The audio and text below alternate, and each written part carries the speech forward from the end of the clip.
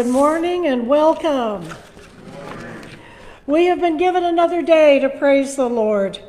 And we are so thankful to come together this morning, whether you are with us here in person, whether you are watching from home, from whatever part of the country. It's so good that there is no place on this earth that is not touched by the love of God.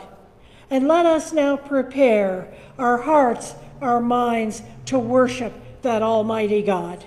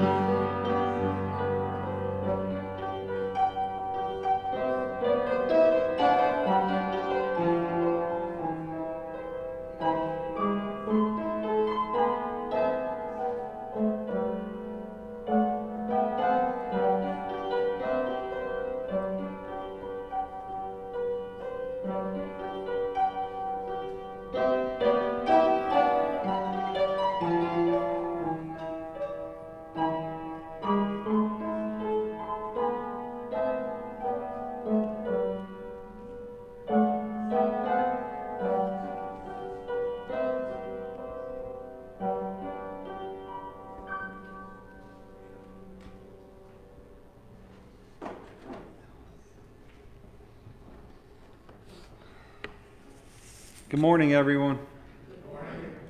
Today's centering words comes from Romans chapter 8. Therefore, since we have been justified through faith, we have peace with God through the Lord Jesus Christ, through whom we have gained access by faith into this grace in which we now stand.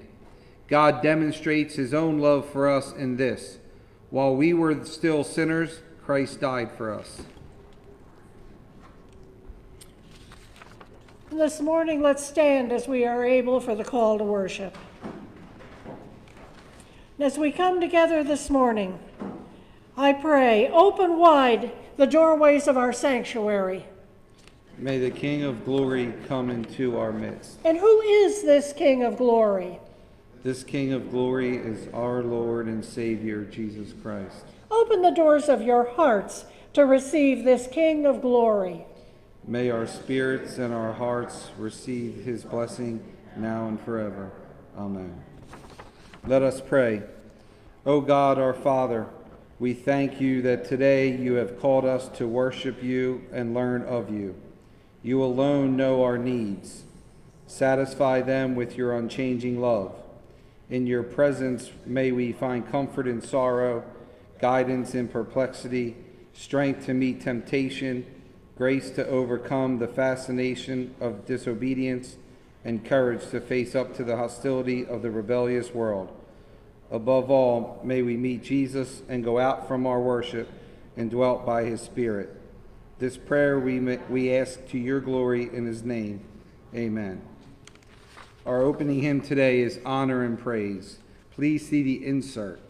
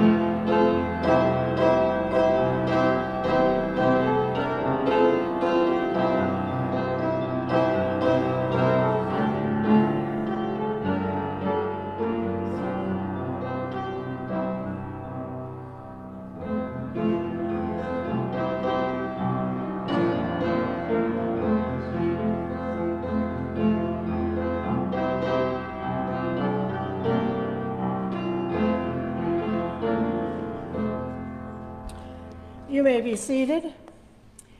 And now let us come before the Lord in prayer.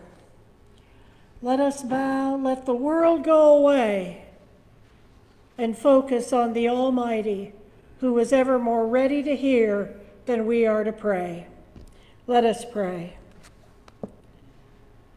In the midst of our summer lives, O Lord, so many things have claimed our attention. We work hard this year to earn a little rest and recreation and to break away from the stresses of our everyday living. But in the midst of all this change, we have too often pushed our worship of you aside. We have focused so much on our needs for physical change and peace that we've neglected our spiritual hungers and thirst. Forgive us when we are tempted to stray from our worship of you and focus entirely on ourselves and on our own needs. As we celebrate this day, help us to remember all the wondrous things you continue to do for us. Let us look at the world as a place of delight. And when we encounter situations in which sorrow and hurt abound, help us to be ready to bring hope and peace. Be with us in these warm days of summer, preparing us for ministry and mission. Lord of the dance of life, you have breathed into us your creative, joyful spirit. You have lifted us from the dust into the swirling joy of your presence. We are so grateful for all that you have done for us. Each day reminds us in many ways of your mercy and your love, yet there are times in our lives when we have felt lost and alone. We have been hurt and frightened, and yes, we have wondered where you were. Remind us again of your loving presence. Place your hands of healing on our lives Comfort us when we become afraid, lost, lonely, and fearful. Prepare us to serve you faithfully all our days. And we lift up in our hearts the names of our dear ones who are in need of your healing, your love, and your comfort. Cause us to reflect on our own needs for your love and our response in dedicated service to you. Be with us now in this time and in this place and in all the times and all the places of our lives. For we pray together in the name of Jesus, who taught his disciples to pray Our Father, who art in heaven, hallowed be thy name. Thy kingdom come, thy will be done on earth as it is in heaven. Give us this day our daily bread, and forgive us our trespasses as we forgive those who trespass against us. And lead us not into temptation, but deliver us from evil. For thine is the kingdom, and the power, and the glory forever. Amen. And hear now these words of assurance God is merciful and pours out God's love on us abundantly. In Jesus Christ's name, we are forgiven Hallelujah and amen. And as we praise God for all God's gifts to us, let us now prepare to bring forward our tithes and offerings, and let this be a time of meditation for all God's generous care for us as we prepare to return to God the gifts for the building of God's kingdom.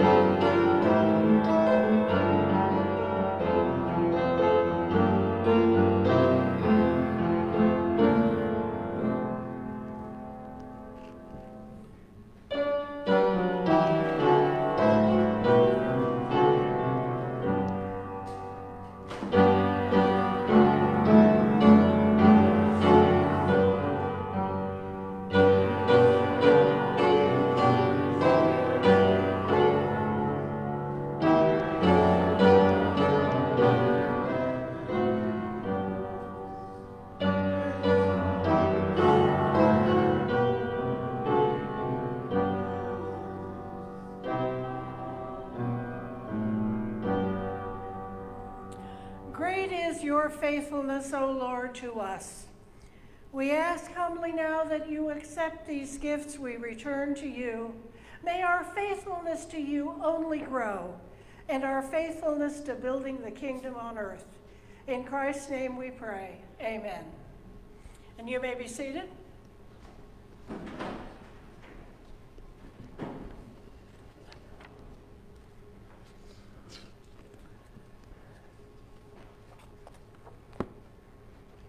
The epistle lesson today comes from Ephesians chapter 1 verses 3 through 10. Praise be to the God to the God and Father of our Lord Jesus Christ, who has blessed us in the heavenly realms with every spiritual blessing in Christ. For he chose us in him before the creation of the world to be holy and blameless in his sight. In love he predestined us to, for adoption to sonship through Jesus Christ in accordance with his pleasure and will to the praise of his glorious grace, which he has freely given us in the one he loves.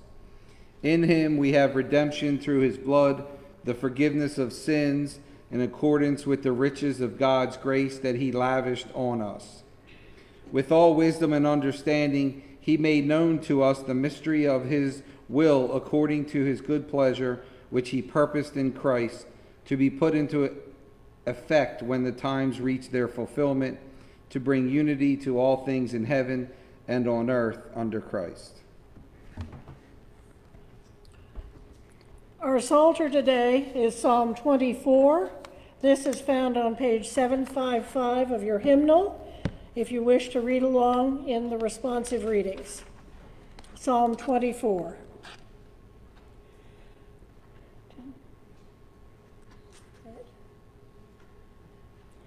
The earth is the Lord's and the fullness thereof. The world and those who dwell therein. For God has founded it upon the seas. And established it upon the rivers. Who shall ascend the hill of the Lord? And who shall stand in God's holy place? Those who have clean hands and pure hearts. Who do not lift up their souls to what is false and do not swear deceitfully. They will receive blessing from the Lord and vindication from the God of their salvation. Such is the generation of those who seek the Lord, who seek the face of the God of Jacob. Lift up your heads, O gates, and be lifted up, O ancient doors, that the ruler of glory may come in. Who is the ruler of glory? The Lord strong and mighty, the Lord mighty in battle. Lift up your heads, O gates, and be lifted up, O ancient doors, that the ruler of glory may come in. Who is this ruler of glory? The Lord of hosts. The Lord is the ruler of glory. This is the word of the Lord. And now let us stand as able for the reading of the gospel.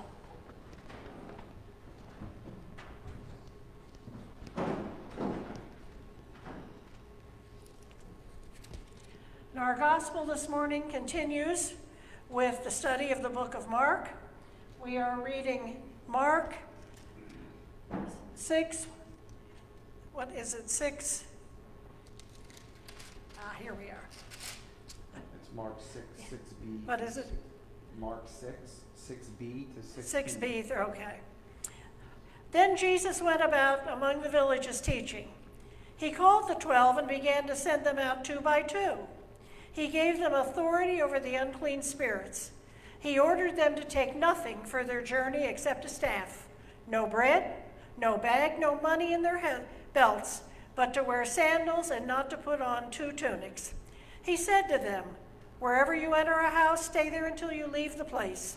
If any place will not welcome you, and if they refuse to hear you as you leave, shake off the dust from your feet as a testimony against them. So they went out and proclaimed that all should repent.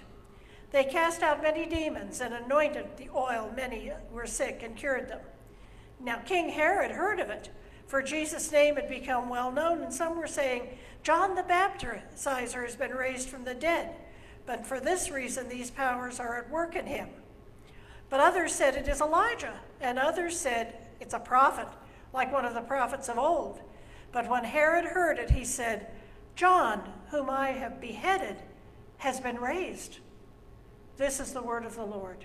Thanks be to God. You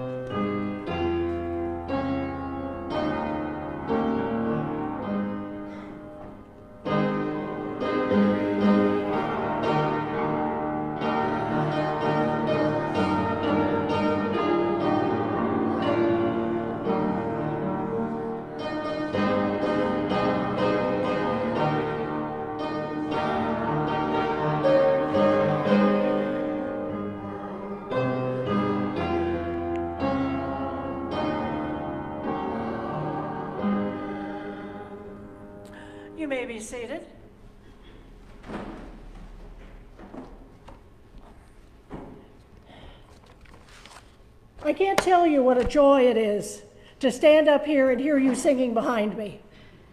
It's absolutely wonderful.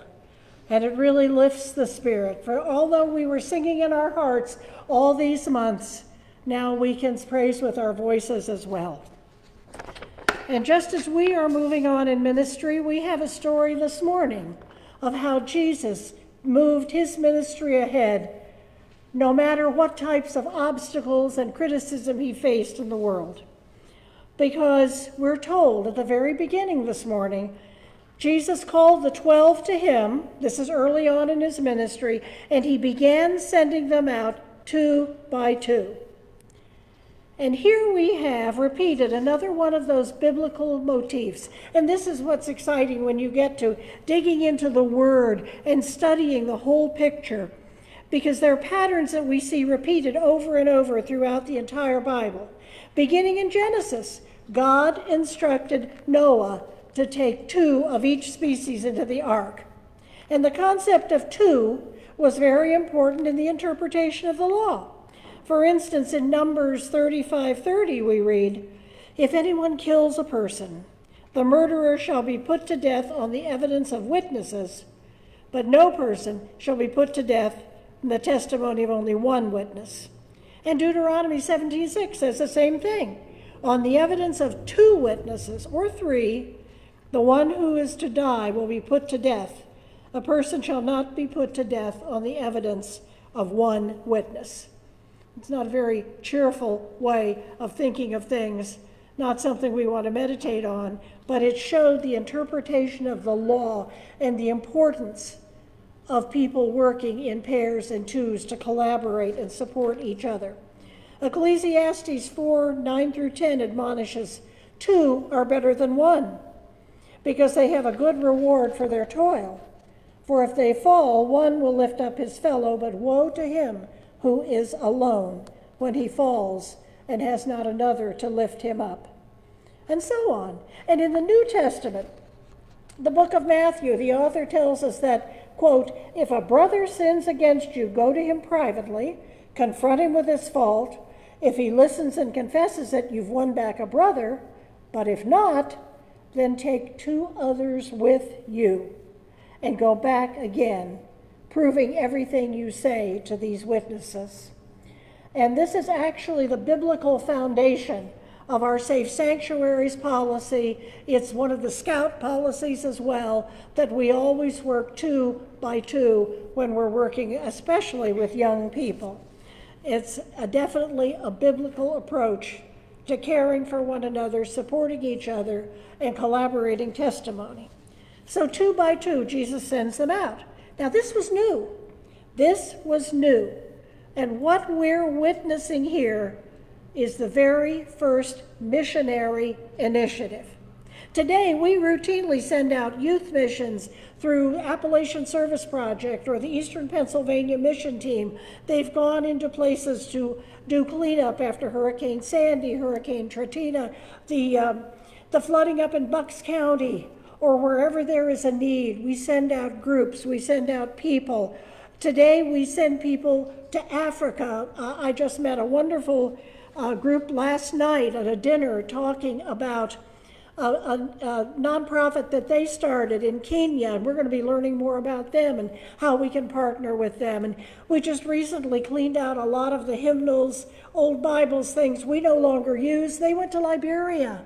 So, in partnership, we are bringing the new good news around the world in more ways every time and in every way, and we're constantly learning new ways, but it all started here when Jesus sent out the disciples two by two. So when Jesus began sending the original 12 out two by two, he was beginning that movement to take the gospel to the entire world, not just this little closed group of people who lived together, thought alike, but the entire world.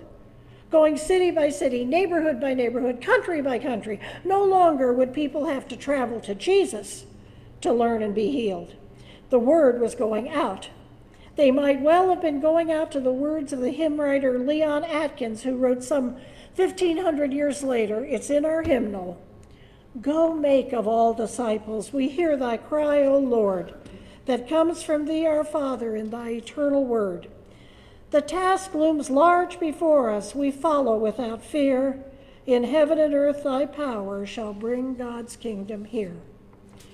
And now it was also the custom of that day, in Jesus' day, when a servant was sent out to deliver a message, that servant was sent with the full authority of the master.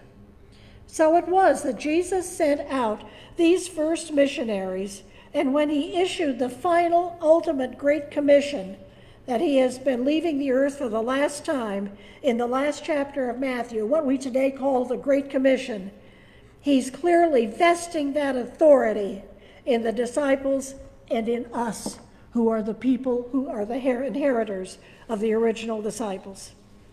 Then Jesus came to them and said, All authority in heaven and on earth has been given me. Therefore, go. Make disciples of all nations, baptizing them in the name of the Father, and of the Son, and of the Holy Spirit, and teaching them to obey everything I have commanded you. And surely I am with you always even to the end of the age.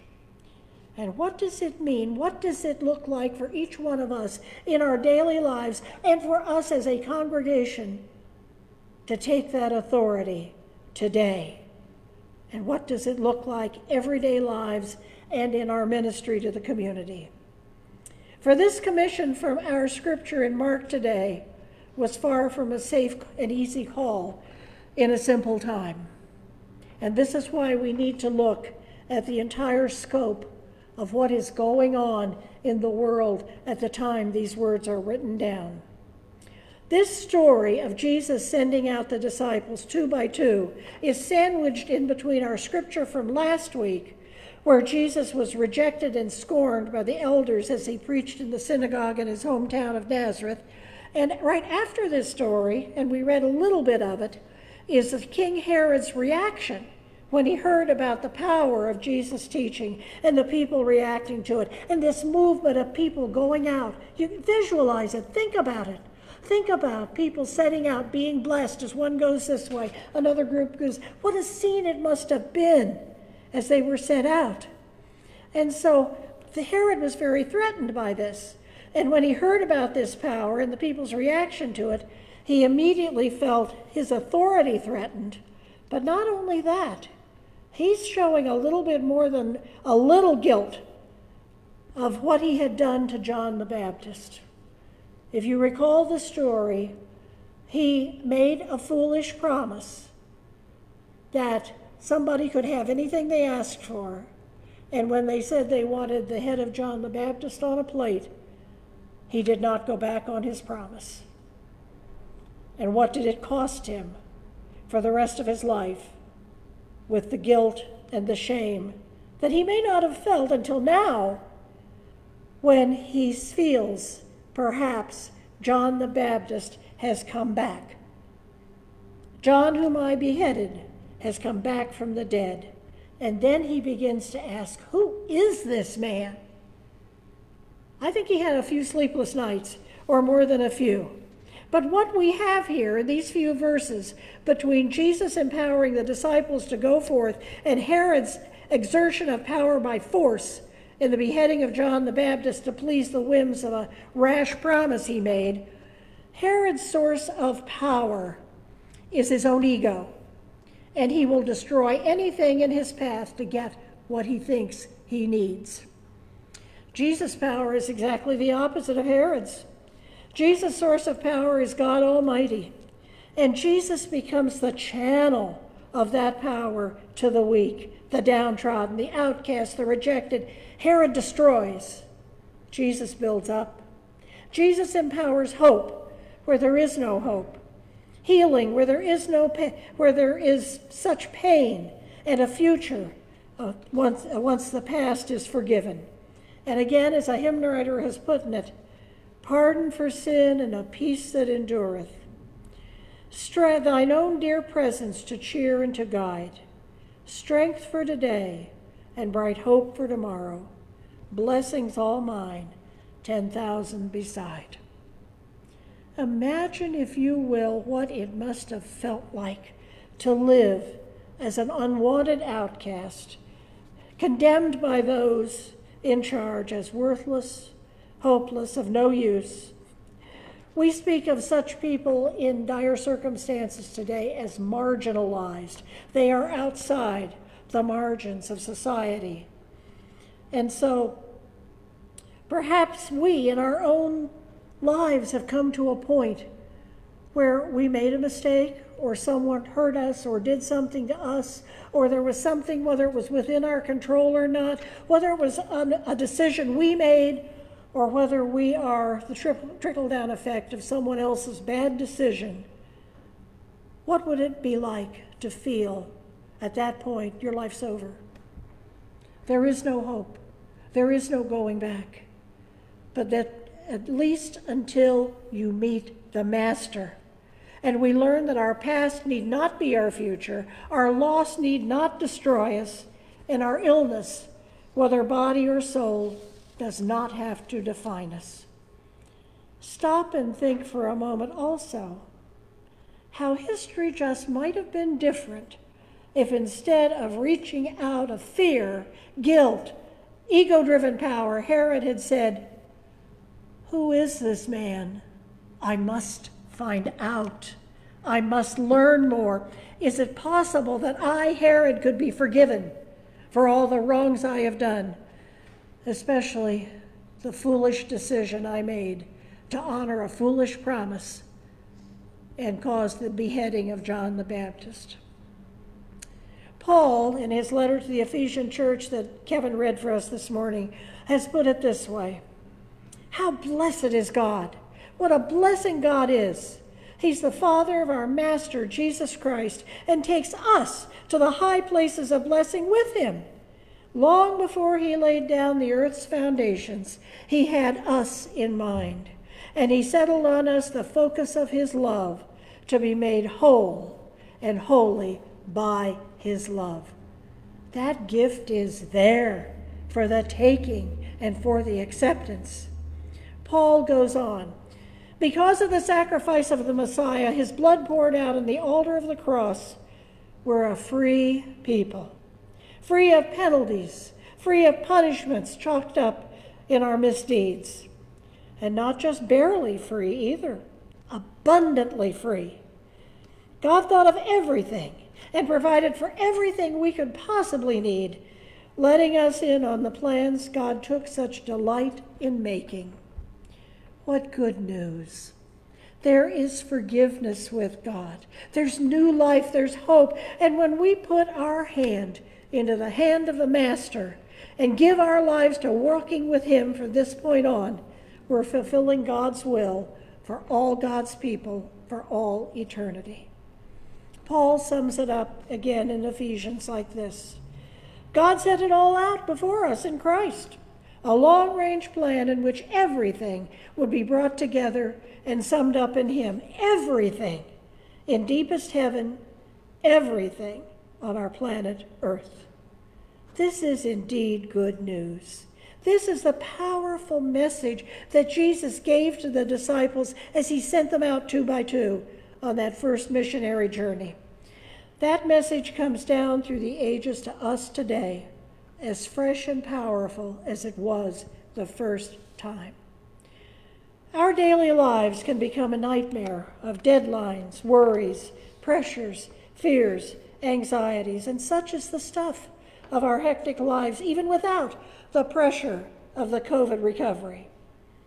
When is the last time that you sat in stillness long enough to put the noise of the world behind so you could see clearly the blessings in your life? The large problems you've overcome and are behind you, or the small everyday moments of grace and glory. We're going to take some time right now. You have an index card in your bulletin this morning. Open your heart as we have some meditative, quiet time here together and think and just say thank you, Lord. Uh, no names need to go on this. And if you're watching from home, comment on Facebook or call the church. Just call and leave a message so that we can begin as we move forward in ministry from this time and as we are prayerfully considering how God is calling us to a new ministry in a newly defined world as we come back together in full ministry in the fall. Take some time to celebrate the blessings that God has given you. And then we will begin by praising God for all God has done to bring us to this point, but also for all God is going to do from here on. As I've said to a couple of people as we're planning for the future, we got to get our sea legs back. We've got to learn how to work together again as a congregation. But before we do anything, we need to praise God and thank God for our blessings, because that is the foundation on which we will build our leap into the future, and it will be our witness once we once again go to the world two by two. So take this time right now, use this time, and then we will sing prayerfully together.